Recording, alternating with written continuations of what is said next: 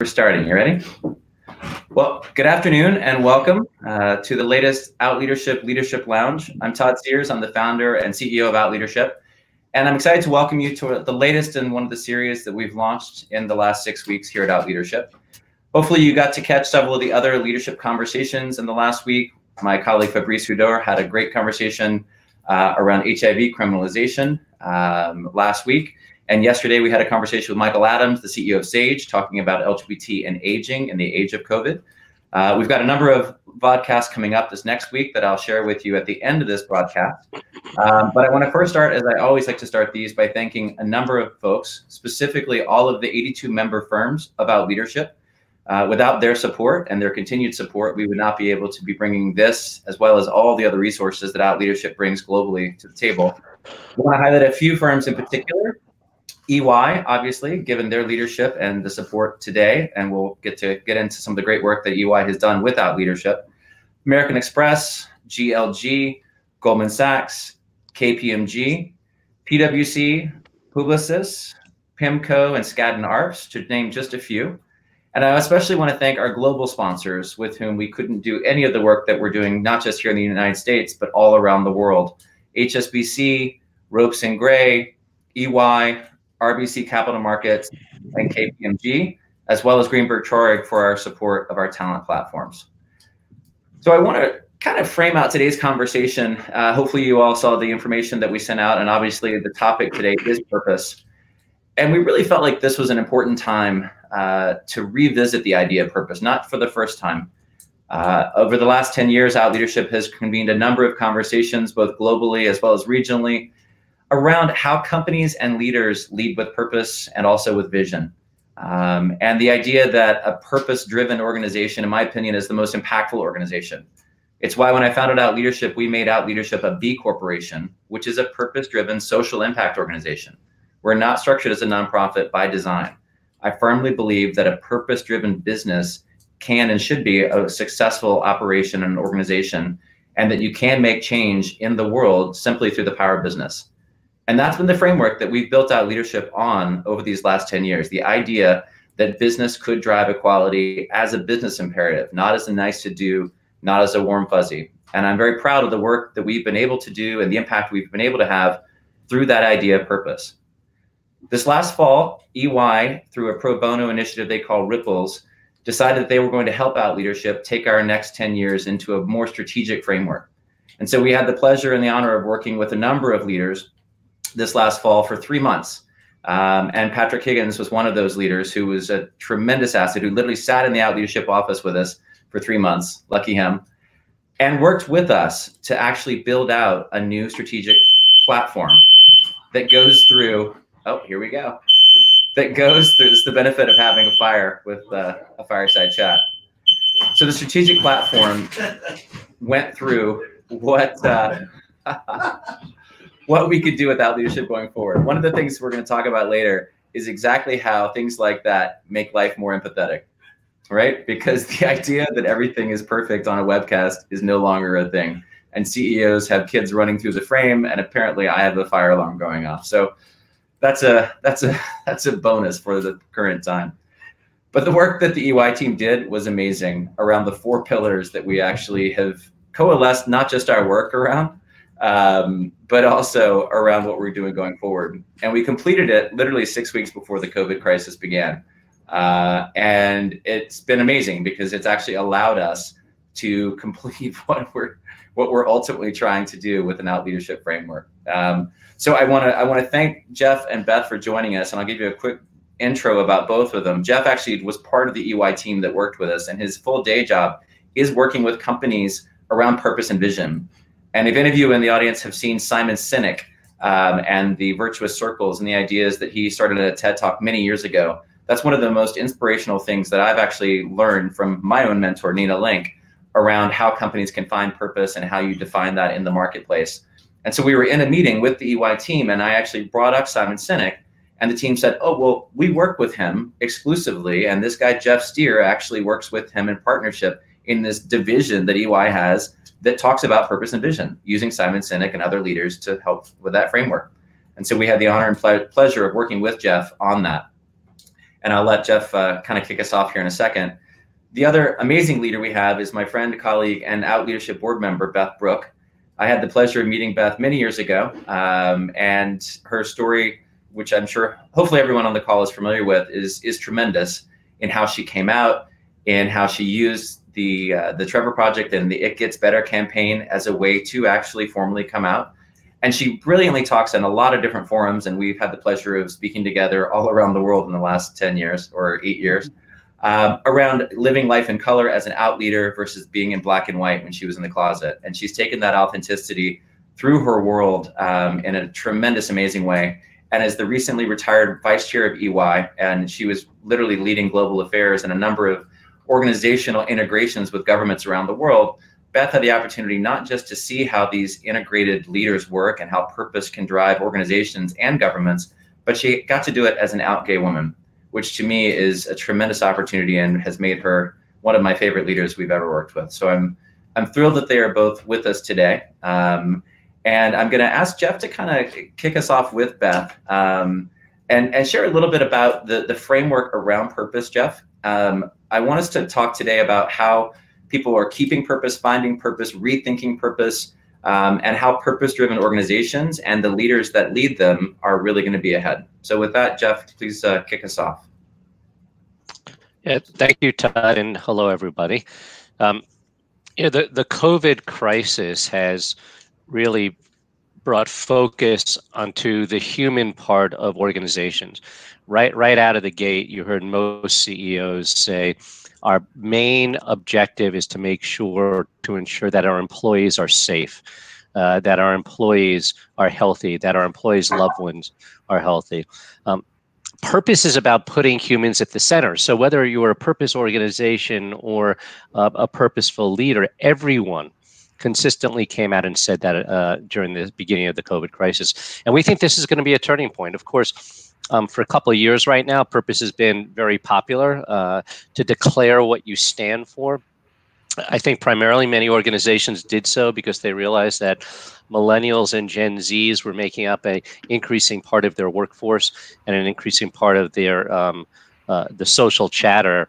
Uh, and millennials and Gen Zs really were drawn to this idea of a greater good.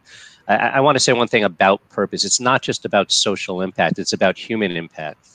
So when when we talk about a purpose-led organization, um, we're talking about um, having impact on your employees, uh, on your customers, on the communities in which you operate. Um, on the environment, sure, because the environment is uh, is uh, intimately tied to the way humans live. Uh, so, it, and of course, your shareholders too. Your shareholders in an organization or stakeholders are also human. So, um, stakeholder capitalism, if you will, purpose is at the center of that. Purpose is at the center of a long-term value conversation about sustainable impact, positive impact to humans. So, um, uh, we're finding that uh, many organizations that are doubling down on their purpose if they were purposeful right now, uh, are going to report better results, uh, the better uh, employees feeling that they care, that the employee cares about them, which we think will translate to um, greater loyalty, greater productivity, greater innovation on the back end. Uh, we're not sure yet, of course, but we, we anticipate that.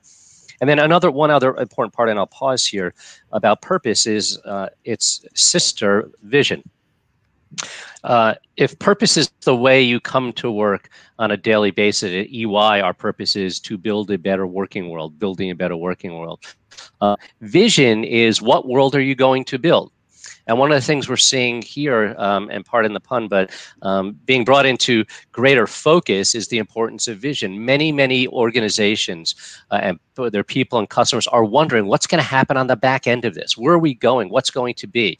Uh, there's a lot of uh, disconnection, isolation, uh, and, and a lot of stress, not knowing whether you're going to have a job, whether you're going to be able to financially afford things, whether you're going to be included as you were before. So uh, this combination of leaders having a vision for the future uh, and also operating uh, uh, on a daily basis with purpose is very important today as it will be tomorrow.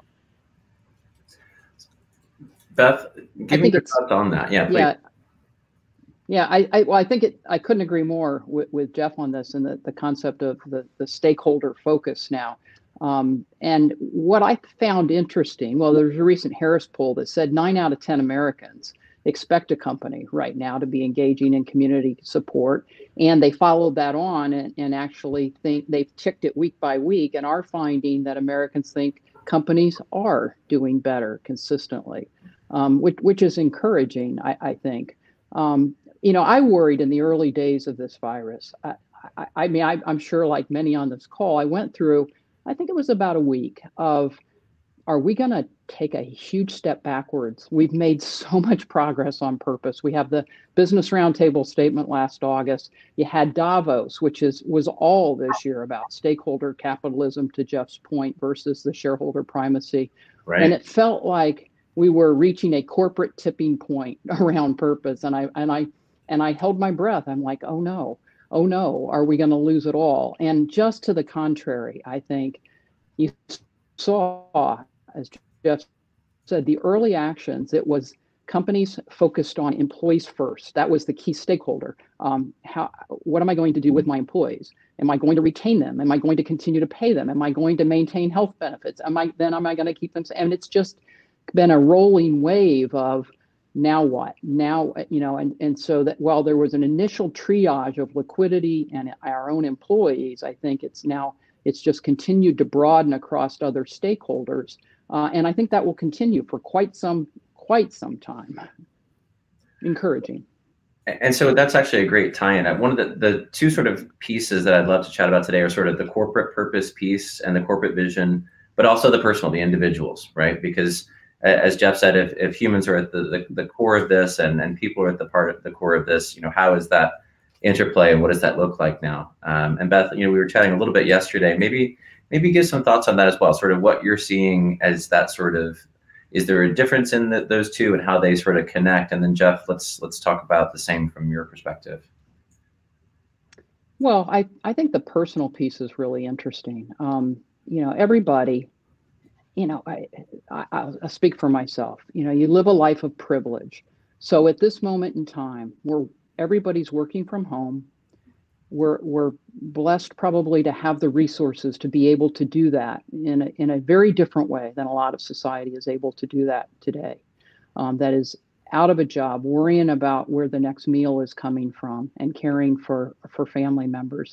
So what I'm witnessing and seeing is this, this comparison of some who feel guilt for the privilege and and a sense of a bit of a loss of a platform to do more, uh, that desire to do more, a guilt that they're not doing enough, in part because they've been disconnected in some sense from from an ability to do more, mm-hmm. um, contrasted with you know the the people who are um, you know feeling purpose in a different way of just me not being able perhaps to provide for their families in the way that that is their purpose. Um, to take care of their families and they're not able to do so. So I, I think that um, experiencing both of those is really important for all of us right now. Um, again, for a company, then, if you're going to meet stakeholders where they are, right. those are two sets of stakeholders that are in very different places. And Jeff?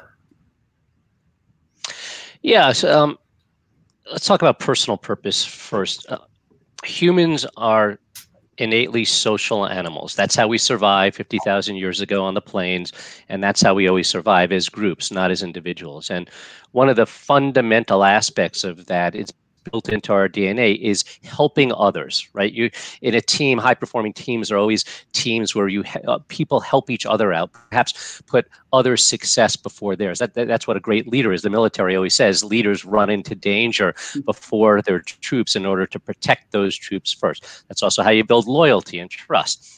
I'll, I'll, I'll trust you if you if you're there to save my life. And so mm-hmm this idea of personally feeling purpose it's your ability whoever you are well whatever color you are whatever gender you are whatever age you are is to give something of yourself to others.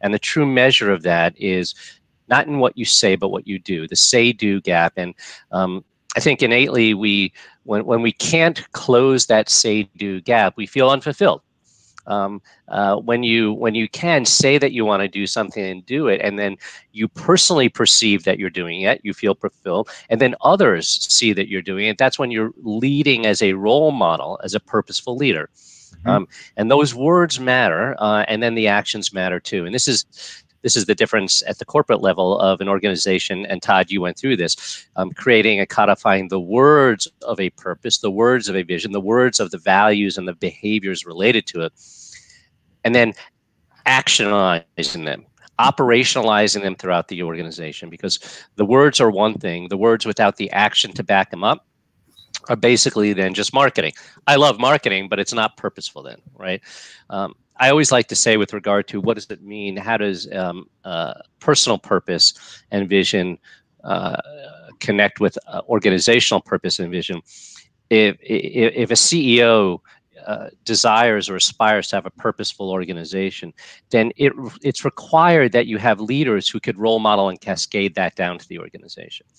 You know, I, I always say, if you want to learn how to ski, would you hire a ski instructor who never skied in their life? The answer is no if you if, if you wanted someone to do your taxes, um, would you hire a firm who never did the taxes? The answer is no. So if you want to be a purpose-led organization, does it make any sense to hire leaders who don't know their own personal purpose to role model? The answer is no. And I think that that to your point, that's a, a, a really overlooked part of this whole purpose movement. It's not about just the organization; it's putting the right people in there um, so that they can take care of their people. You know, the old saying, "People don't quit an org company; they quit a manager," is true here. Uh, the words don't matter as much as the actions. I think it's interesting right now. Um, you see a lot of the, the disparity again between what the larger companies can do and the more purpose driven companies that and if they've been more purpose driven if they're um, operating more for the long term sustainable they went into this crisis more resourced and able to you know to to to carry out their purpose a little bit better. What what I um, feel for is the smaller companies who who have every sense of the that commitment toward purpose, but ne- didn't necessarily come into this, you know, um, with with a war chest and able to do a lot of things. They want to help. They want to do things um, in another way, but but they came into this crisis and and basically hit a wall and hit it hard, um, and are really struggling. And what I find um, rewarding is to see them finding ways to execute on their purpose. They, they are still carrying it out, and but just finding different ways to do it. And I think that translates to your point, Jeff, about a personal level too. Of it's do what you can to help others. You know, just do what you can. And we, no one should judge the actions of others when they are well motivated toward trying to help others, whether whether they're huge actions or small actions. Right now, our responsibility is to do what we can. Yeah, and I, Beth, I think that's an an amazing point. That um, as long as you're doing something within your means, it's no one else's point to judge, unless you could look inside and understand what those means are and what what what you've given up to make that happen. So every single person and every single organization um, can act, if you will, according to their means. And and no one should feel guilty about if that doesn't measure up to what the bigger corporations are doing, or the or, or individuals who um, have more to be able to do. What I find, um, I've witnessed it firsthand. So uh, many of you know my wife is an entrepreneur, has her own company. Um, and I and so I live it every day of some of the reactions that that have been taken and and I will tell you, uh, you know, um, her company um, distributes their product through major retailers. And it, has been interesting for me to watch as a, a gay female owned business to see how that, um, how a, a, com- a big company treats that kind of a supplier and how, how her company has been treated is has actually been really different by different big companies. Uh, and and it's consistent sort of with how they've behaved over time. So it's not like the coronavirus hits and companies suddenly act purposeful. They've either either acted purposeful for you know a very long time or they haven't.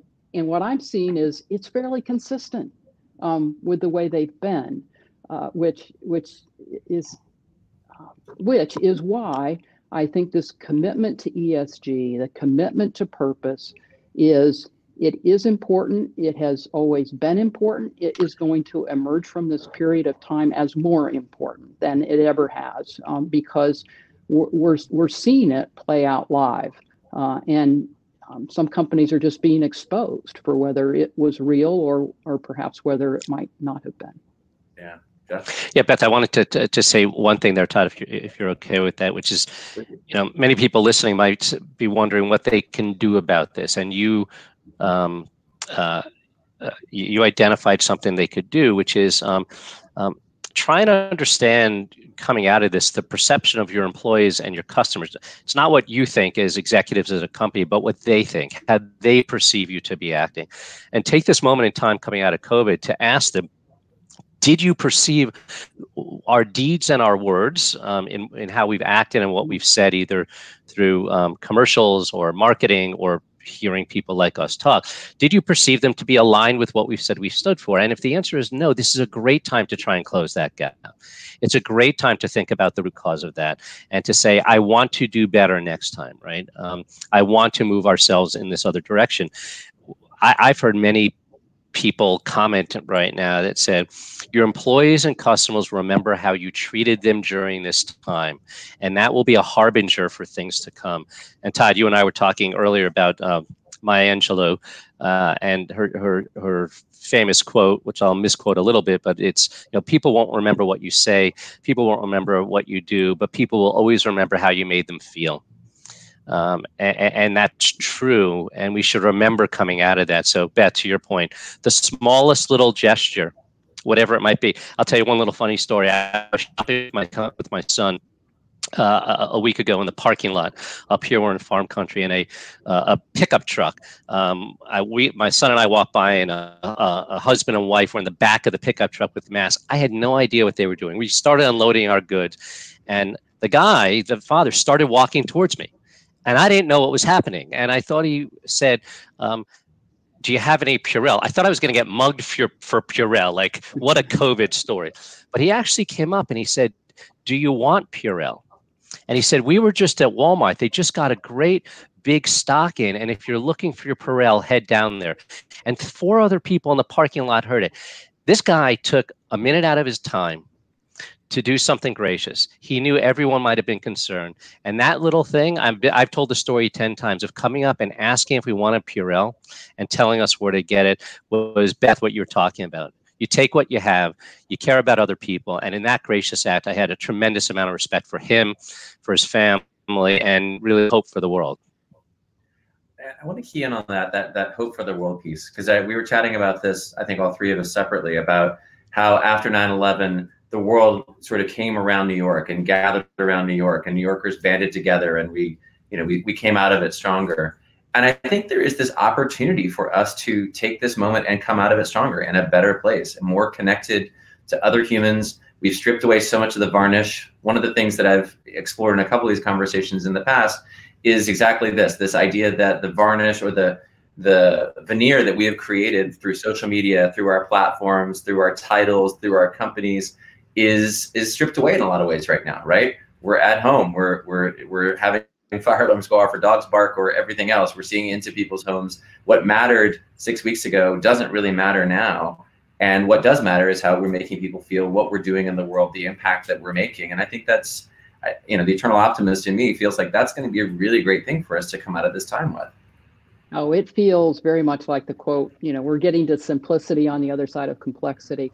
I don't know how many calls I've been on with um, other executives that have said, you know, in this time they've had time to, you know, clean out their closets, clean out the the, the cabinets. like, well, what am I doing with this stuff? What, why do I need this stuff?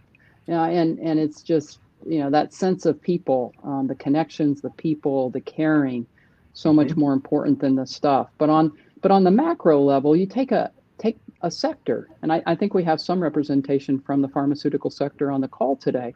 Take the pharmaceutical sector. I mean, look at the challenges that that sector has been through and the, the, the just you know st- stakeholder challenges and, and and they've navigated and navigated and and coming together in this moment of time where the competition is not themselves. The competition is the disease, and they're partnering like they've never partnered before, accelerating time frames.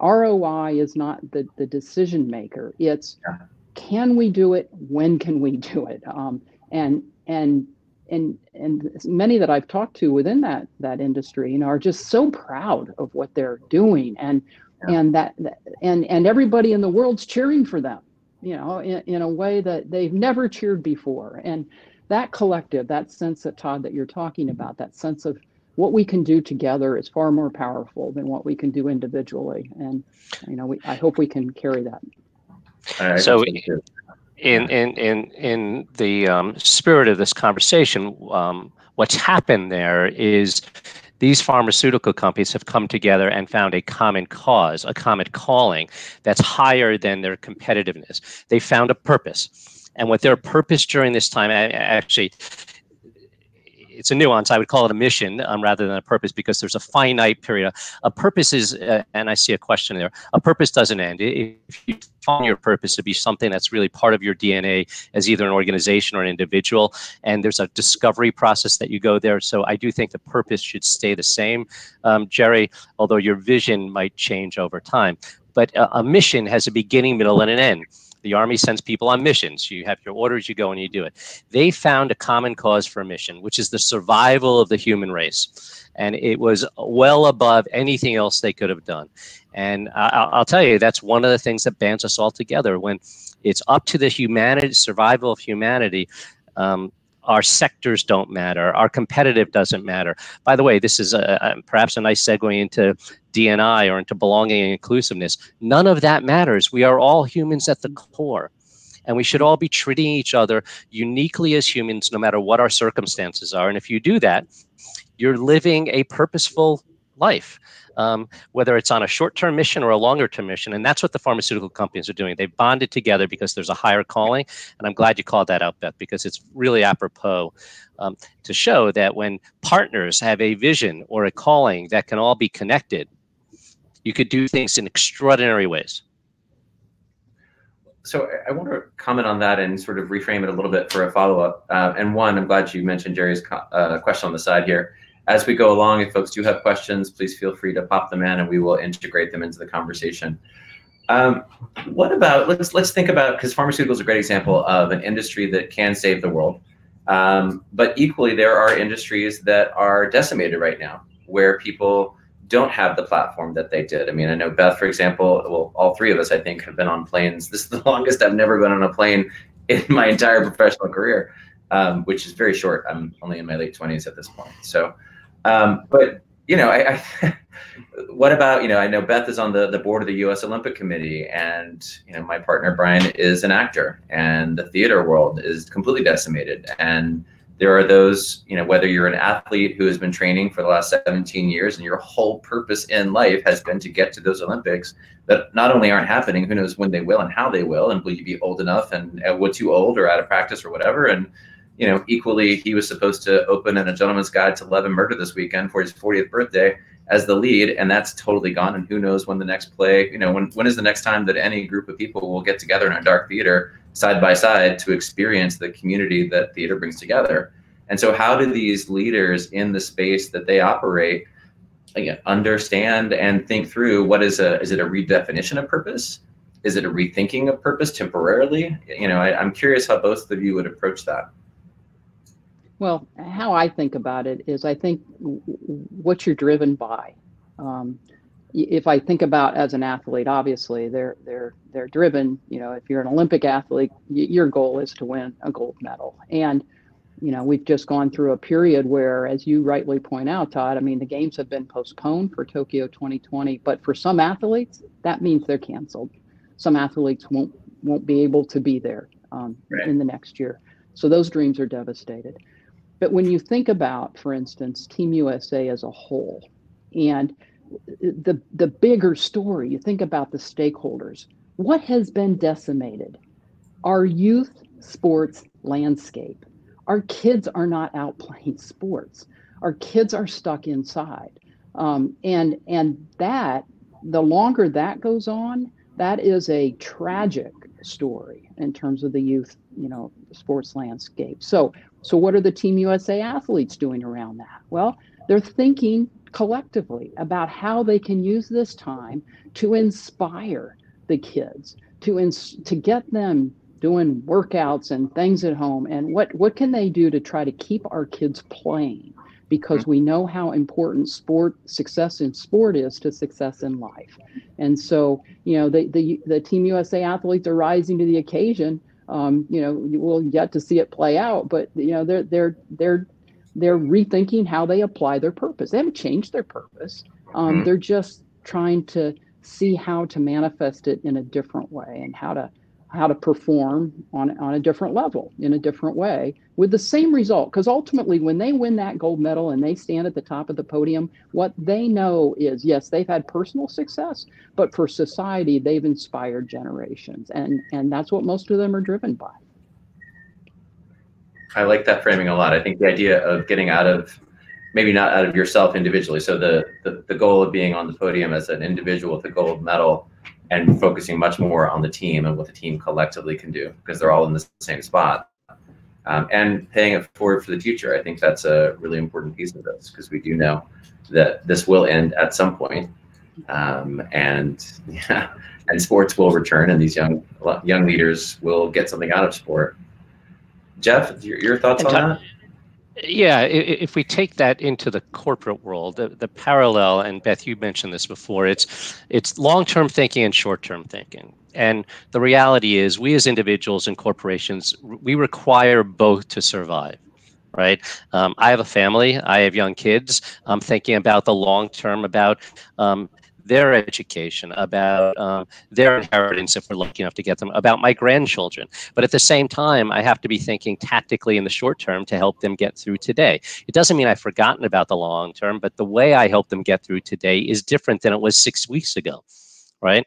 Um, because I have a son who's completely isolated and has COVID in Chicago right now, and two others who are fine. My tactics, my short term tactics have had to change. And that's what Beth was saying too about the athletes. I think their commitment to something that's bigger than themselves. Sure, they want to win the medal, but it's also about representing the United States. It's about being on the team. It's about collective um, greatness, right? Well, they've put that long term aside for the moment and redirected it for short term. This is always the balance. This is the balance that we all have. We have it at corporations, right? The pharmaceutical companies put their long term strategic objectives, which is ROI and revenue and shareholder or stakeholder um, uh, capitalism, aside and said, it doesn't matter right now doesn't mean they've forgotten about it. And so, one of the things that we're seeing with leadership, bringing it back to that, is um, one of the great qualities that have been exposed here is being able to adapt right? Mm-hmm. you can't have a fixed playbook. You have to have an adaptive playbook. But as long as you keep the long term in sight that vision the long term you can adapt and still do things that are aligned to where you want to go. It's just a slightly different path. I'll give you an example. Um, uh, my son's going to drive from Chicago to New York, where we are, and let's just say he's going to take I 95. He knows where he's going.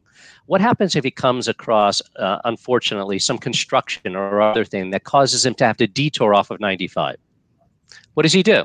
Well, he takes an exit, he finds the other way, but he's still headed towards me he still knows where he's going, right? And this is, I think, the great balance of leaders today, which is when you know what you stand for your purpose and you know where you're going, the way you put those together has an infinite number of possibilities based on the circumstances you have to deal with. And we're all facing that on both an individual level and a corporate level now almost daily.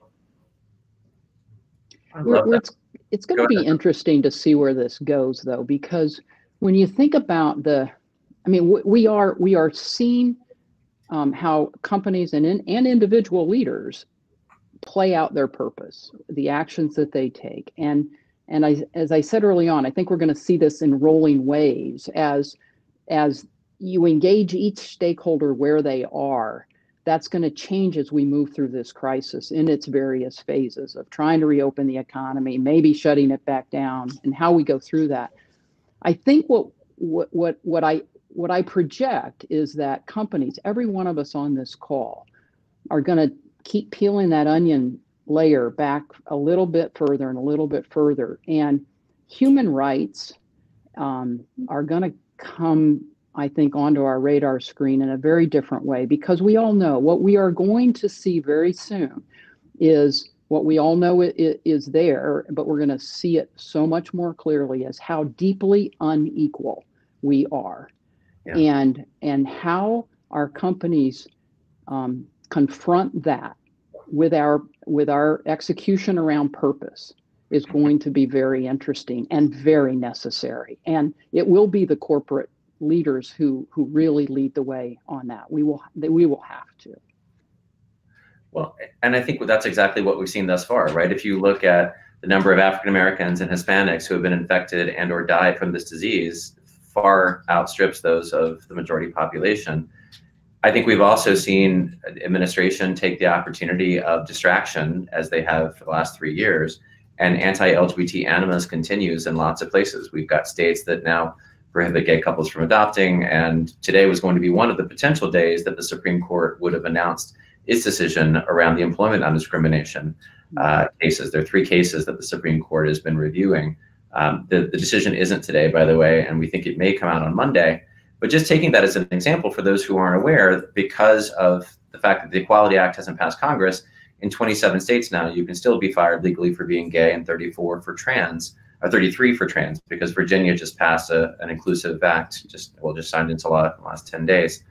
But because we don't have full equality as a country, that that case is monumental for the uh, for the LGBT plus community, and I'm very interested to sort of see in the age of COVID. Let's say you know there there are multiple ways that it could come down. It could be a split decision. It could be all for us. It could be all against us. And it'll be very important and interesting to see how companies align their purpose to the outcome of that case, just being very specific, right? So if, for example, it says that we can discriminate against trans people but not gay people, how are companies going to respond, right? If it says that discrimination against all LGBT people is not something that the federal government has any business in, right? We're back to where we started, but potentially much, much worse because we've got this Supreme Court ruling so you know, I, am curious for, for both of you, and, and you know, know, you know, you, you mentioned belonging and inclusiveness. Obviously, Jeff, and you're steeped in this, and and Beth, and, in your work with without leadership and through EY, you know, eh, give me your thoughts. I mean, how, how do you think companies should be thinking about this and and aligning this not just LGBT inclusion, but as you said, you know, inequalities broadly um, to their purpose going forward? Jeff, Beth, I'll, I'll, I'll, yeah, yeah, I'll let you jump in and then we'll split that. Sure. Um, you know, back to something that uh, Beth said earlier. Um, I think there's going to there's going to be a, um, a, a, an accounting, a reckoning, if you will, after COVID which is that you, you saw many of these same companies you're talking about, Todd, say that they cared about their people. All the CEOs said the right thing at the beginning of this process. They all right. did. Um, they can't take it back. Those words are out there. And when they said them, they were being inclusive of everyone. They didn't say, I only want the safety of trans or I only want the safety of straight white men in middle age, right? It was of everyone. And so um, I, I think what's going to happen here, I hope what's going to happen here is that society will hold them accountable, meaning it's public what they've said. And if they go back to a different actions, different deeds that don't match those words, they need to be held accountable. Now, I understand it could be difficult for some because as you said earlier, many companies are going back to what they used to have. Okay, but that's not and I hate to use the phrase, but that's not the new normal. That's not the way the majority of the world is going to be looking at things anymore. So I am hopeful um, that this um, belonging and inclusivity, where everyone belongs, everyone's inclusive, and everyone's recognized for uh, their unique, remarkable, whatever it is right, um, is something that continues on because 100% of the companies started it when COVID came, and that the world, the citizens of the world, hold those companies who aren't there accountable to be authentic uh, and to be honest. And the beauty of the crisis may be that we see unequal in a in a broader way. We we really get deeply into, um, you know, we get beyond I just I'm just going to deal with gender. That, that's you know, and then, then I'll check the box. Like we're going to start to understand this. This yep. is about everybody. um, right. and and I, that that will be good if it does. Well, and, and so that, that keys into a couple things that I've seen in a number of conversations and around empathy. And empathy and leadership, as we know, is, is not a new idea, and it's I would argue the, one of the most important traits of good leaders. But if you think to you know one of the conversations that we had earlier is the idea that in a corporate environment or in a business environment or really almost any environment, you're able to cover and compartmentalize areas of your life. So I was speaking with a leader a couple weeks ago who has an 82 year old mother who she has to take care of. She has a husband, she has three kids, and all of those things were in different compartments in her life before this crisis. Now they are all together. Her 82 year old mother is living with her and she has to make sure she doesn't get infected and she's still taken care of. Her three kids are home from college and from school and they're now back in the house. She thought she was an empty nester. Her husband is old school and really still thinks that she needs to cook dinner every single night. And so all of those things are no longer compartmentalized. They are you know, front and center for her. And she still has to do her day job as a global executive in an organization. And in the same way, one of the leaders that I spoke with last week, we talked about how the idea of working from home used to be sort of an accommodation, right? We started it 20 years ago to help working moms, right? That was the idea. And that real work couldn't happen at home, but you know, that that that we could, you know, allow this accommodation. And now that's gone too. In six weeks, uh, it would be almost impossible for a leader with any credibility to say that it is impossible to work remotely because we have just proven that the entire world is working remotely. And so I think about both of those, sort of the idea of, of combining your life in a public sphere in a, in a way that you were no longer able to create that wall and that veneer and the, uh, the authenticity that creates, but then the empathy now that leaders are coming back post sort of COVID. Um, and and so I'm curious what you both think about that and the idea of returning to work. And you know, you said there was a reckoning. I think that's a great way to think about it.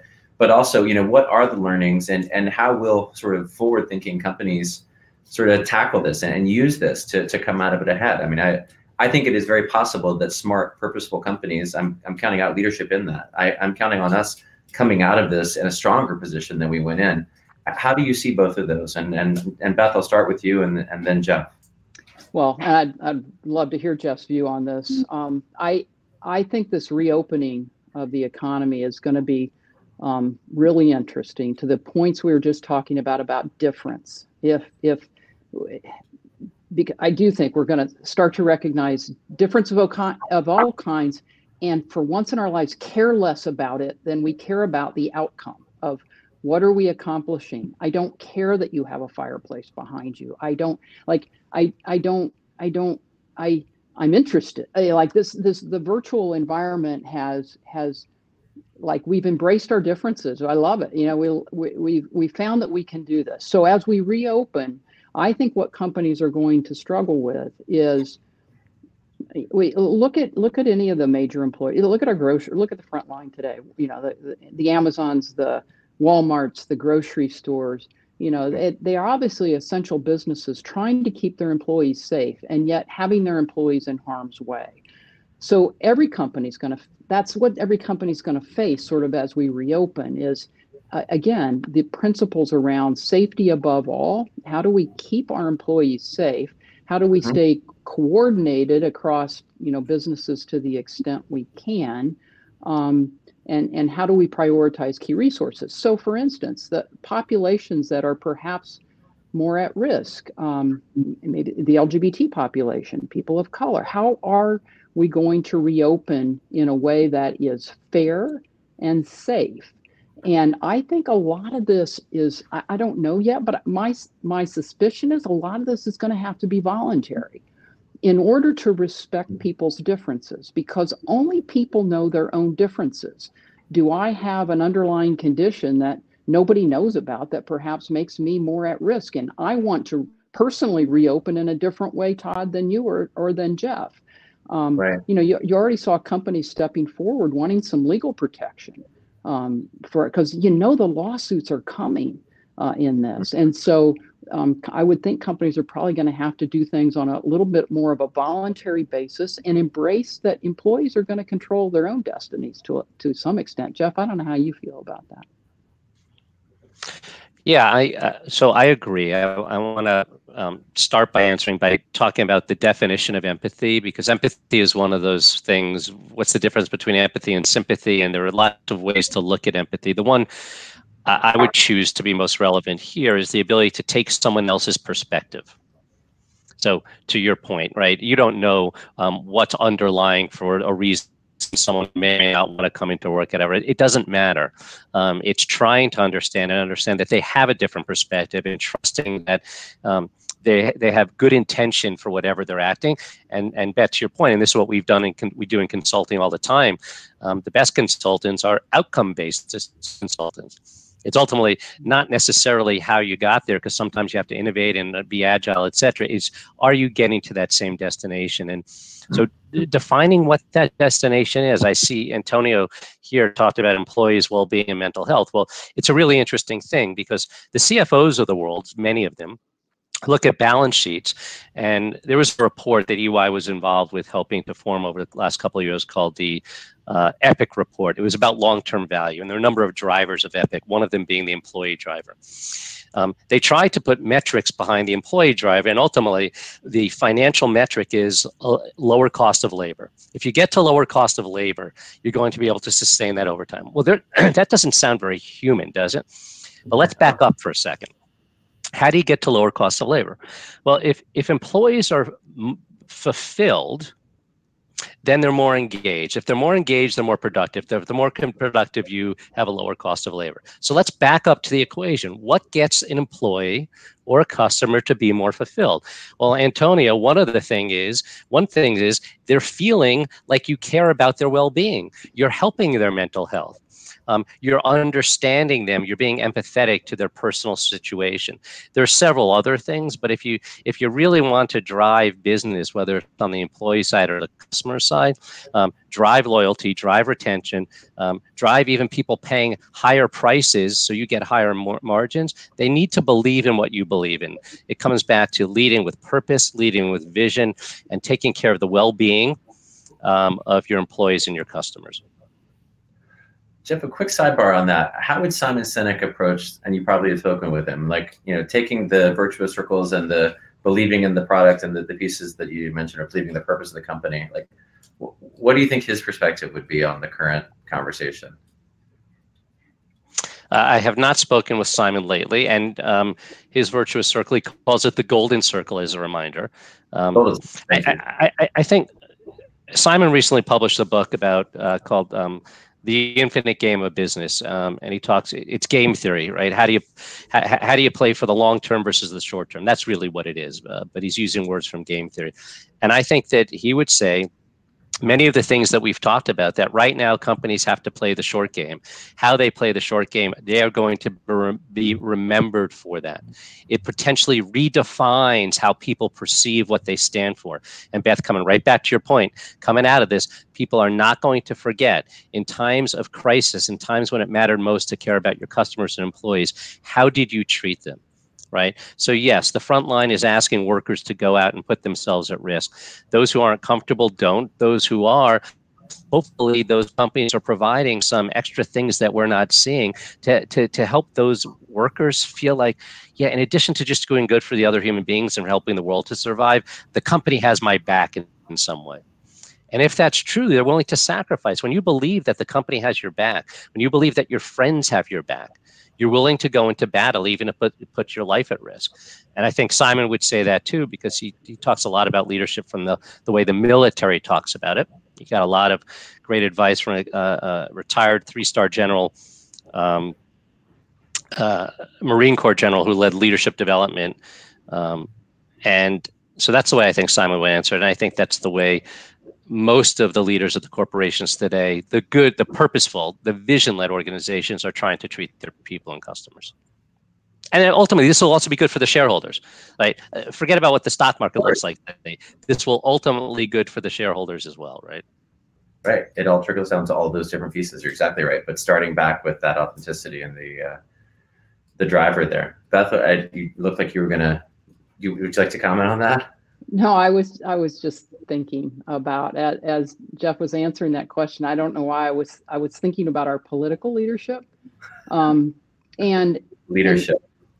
And, yeah, but but across I, I mean I mean politicians sort of in general of we elect them we don't select them we select our corporate leaders because we expect them to handle, be able to handle certain things to, to lead a company with purpose, but also to lead in a crisis. You know, I mean, we, that's that's in the calculus of how you select a corporate leader, and um, you know, and and they have tools that they can use and they can control. And I just I think it's a, an interesting um, reflection of how we choose our political leaders isn't necessarily um, you know, if you think back to the the the ad in a, a, couple elections ago, the 3 a.m. ad, you know, who would lead, who, who wants yeah. to get the call at 3 a.m.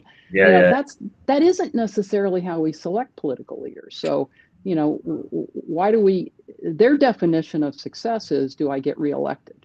And so they're going to be motivated to make decisions along those lines. So I just find it interesting that um, to to uh, so what you saw me probably smiling. I was just thinking, how do we select and political leaders. And so when there comes a time of a pandemic and a crisis, it, doesn't necessarily mean that the, the leaders we have elected. Um, it's you, you sort of either get lucky or unlucky of whether you have um, leaders e- equipped.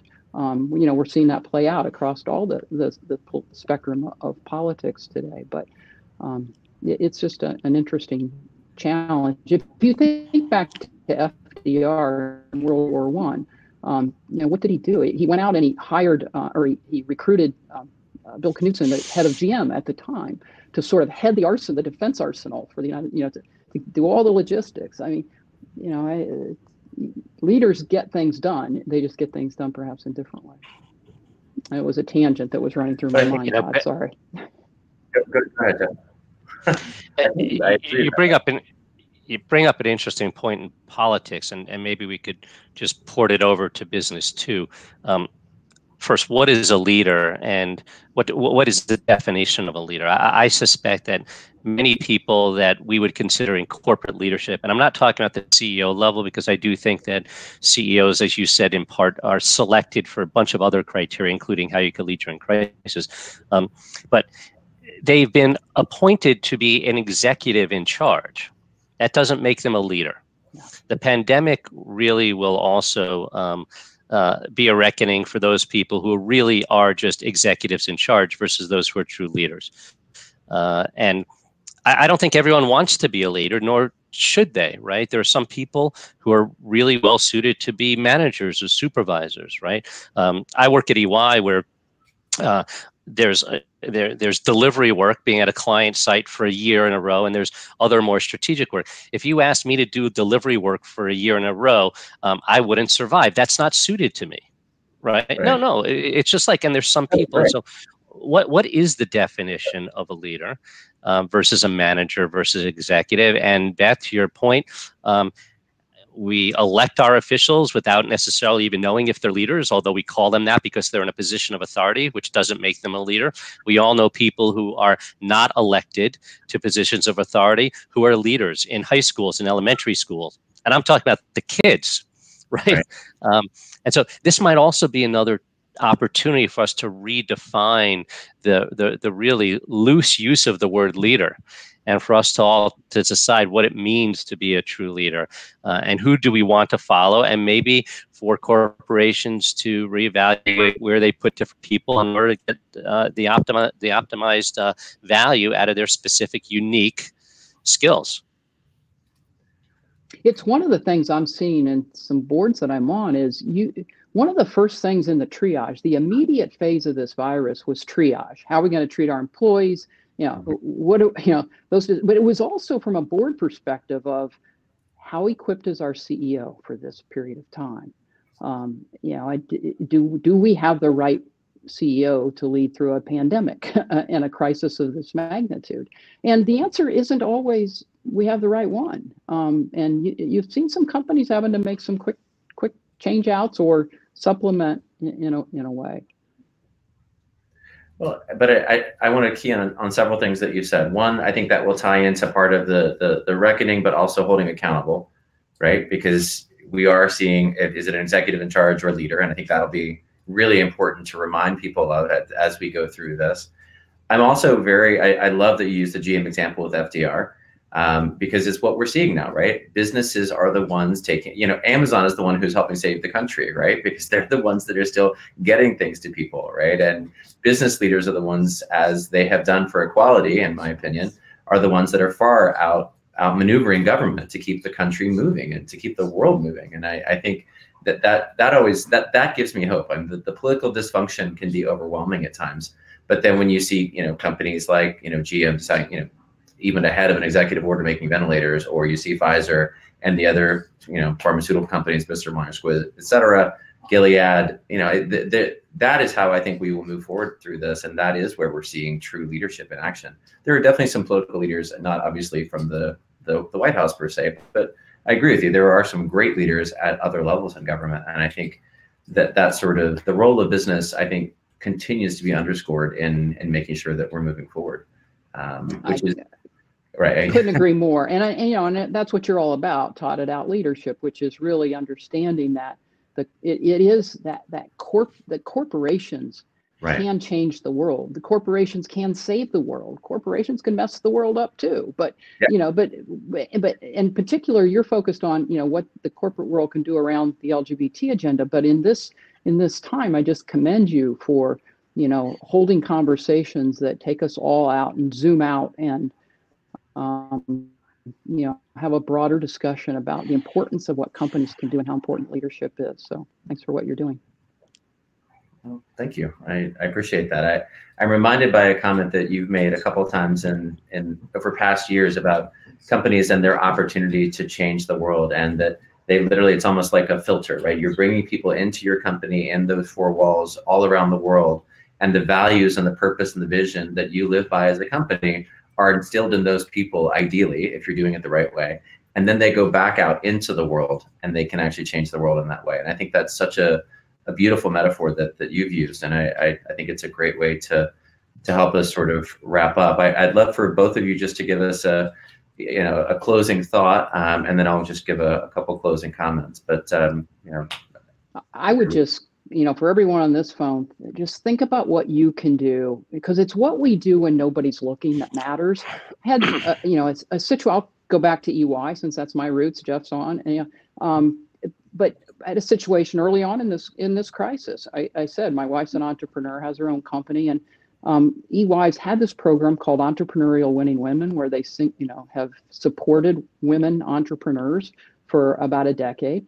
And early on in the crisis, um, a woman, Lisa Schiffman, who runs that program for EY, convened a couple of calls, brought bringing together EY experts to help these women founders, these women entrepreneurs, around what should we do around liquidity, around restructuring, around employees, around the SBA loans, around the government stimulus.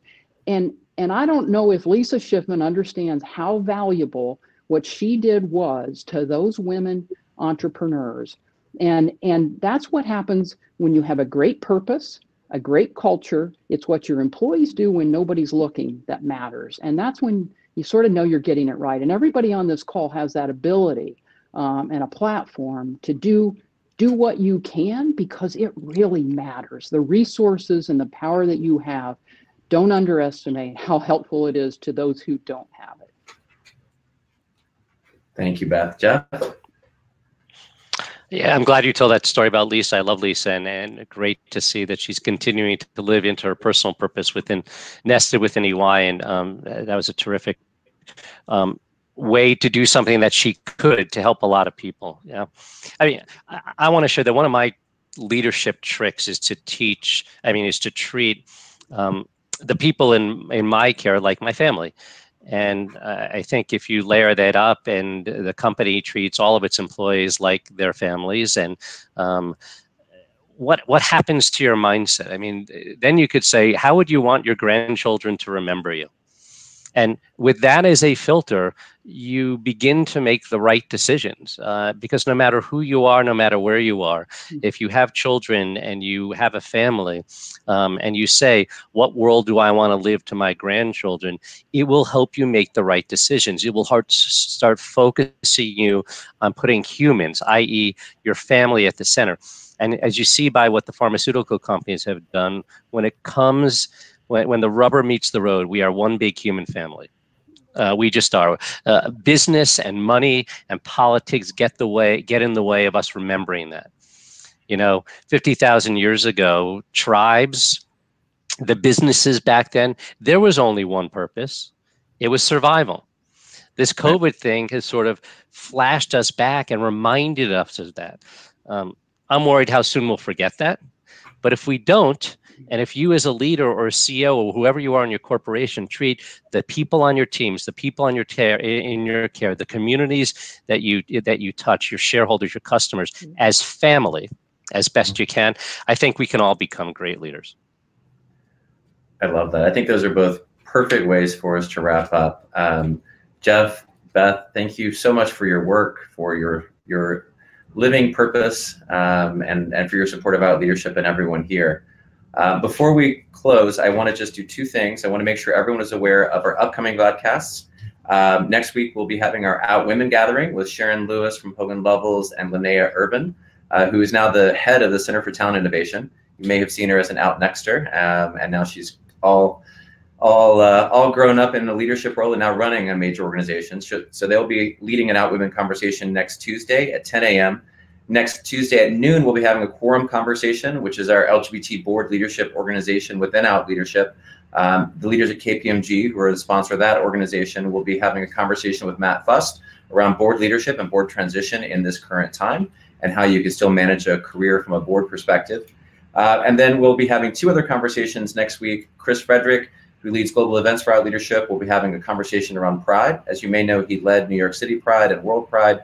And so he's going to be convening a conversation to discuss what Out Leadership will be doing virtually throughout the entire month of Pride and having a couple of leaders from the organizations around Pride, the director of New York City Nightlife, the head of LA Pride, uh, in that conversation. And then my next leadership lounge next week will be with Peter Grauer, the chairman of Bloomberg, um, who has served on Out Leadership's board with Beth uh, as well as Rich Jeanneret from EY is on the board. But the conversation next week will just be Peter Grauer and myself in conversation. Uh, the final thing I'd love to ask is that we're instituting a poll. So we'll end the podcast from a video perspective, but if those of you who are still on can still stay for 30 seconds, we've got five questions that we'd really appreciate your input on. So I want to end where we started and thank you all for joining us. I want to thank Jeff and Beth. I want to thank EY for all of their support. Uh, and I want to thank you for joining us. And I hope this has been useful. I know I learn from these leaders all the time, and it's amazing. And I'm honored to get to share their learnings with us. It definitely gives me a, a shot in the arm every time I hear from them, and I know that I've got a few additional quivers um, and additional arrows in my quiver going forward into the next week. So thanks so much. Have a great end of the week. Thank you. Bye.